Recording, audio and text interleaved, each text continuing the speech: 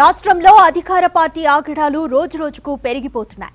తాజాగా ఓ మహిళా కౌన్సిలర్ను టార్గెట్ చేసి సోషల్ మీడియాలో వేధించడం మొదలుపెట్టారు. టీడీపీ కౌన్సిలర్ రేష్మా పర్వీన్ వస్త్రధారణపై అసభ్యకరమైన పోస్టులు చేశారు. దీన్ని సీరియస్గా తీసుకున్న టీడీపీ కౌన్సిలర్ రేష్మా పోలీసులకు ఫిర్యాదు చేశారు. తనపై ఇప్పటికే మూడు సార్లు అసభ్యకరంగా పోస్టులు చేశారని టీడీపీ కౌన్సిలర్ ఆరోపించారు. తనను వ్యక్తిగతంగా విమర్శిస్తే ఎంత దూరమైనా వెళ్తానని హెచ్చరించారు.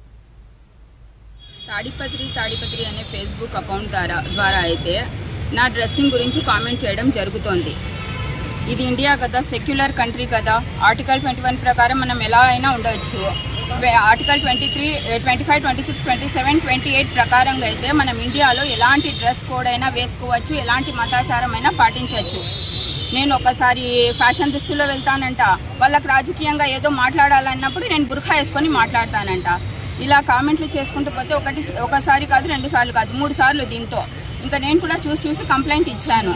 ఎందుకంటే మాకు కూడా ఉంది. మేము ఇండియాలో ఉన్నాము. ఇది సెక్యులర్ కంట్రీ మాకేమి ఇష్టం ఉందో అదే వేసుకుంటాము. వాళ్ళు ఎవరండి చెప్పడానికి? ఏమైనా ఉంటే రాజకీయంగా మాట్లాడండి ధైర్యంగా. అంతేగాని వ్యక్తిగతంగా విమర్శలు ఇస్తే విమర్శలన్నీ పె- చెప్తే మేము ఊరుకుండేది అయితే లేదు. నేను దీని గురించి ఎంతవరకైనా పోతాను. నా గురించి కంప్లైంట్ పెట్టిన వాళ్ళు నా గురించి వాళ్ళు ఇట్లా పెట్టిన వారు పోస్ట్కి వాళ్ళకైతే వదలను నేను.